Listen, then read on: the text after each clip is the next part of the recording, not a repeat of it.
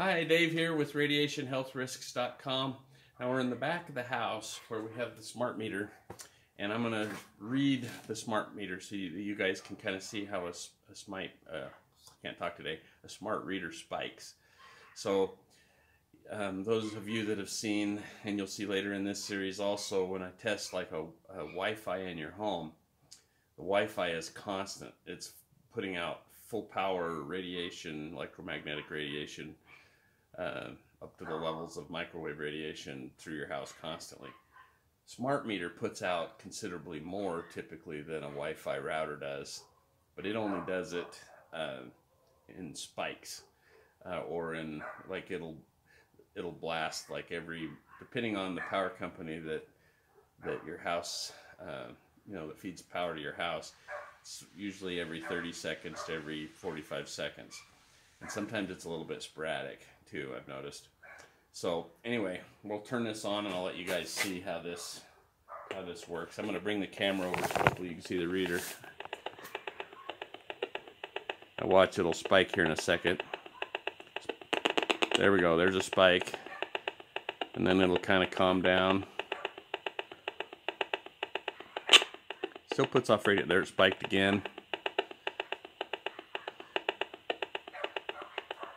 It'll kind of calm down a little bit. It's still putting off radiation, but not as much. Then it'll spike again here in a second. When it goes to that one, that means it's putting off more than twice the US safety limit, more than 2,000 microwatts per meter squared. There it goes, spiked again. Kind of a long spike that time. So hopefully you guys are seeing that. So we'll do one more here.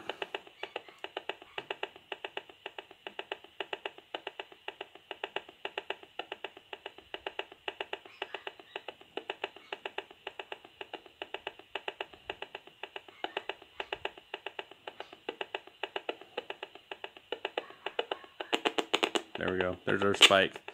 Now one other quick thing I wanted to show you while we're outside here in the back of the house is um, he has a, um, on this house, he has a uh, Wi-Fi, you know, uh, sprinkler system control box that he can control from his cell phone. So let's just show you what that's like. If you guys can see that right there on the side of his house. As I bring up here close so you can see what I'm talking about. This thing right here. So if I point this, turn this at it, I should have not turned it off probably.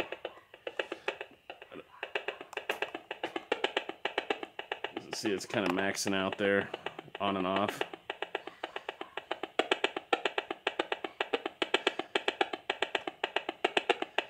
So hopefully you can see that. So every time that's you know maxing it out more even than the smart meter. So the point is every time you have something like this in your house you're just microwaving yourself. So we'll we'll call that a wrap on this video and I'll show you some more inside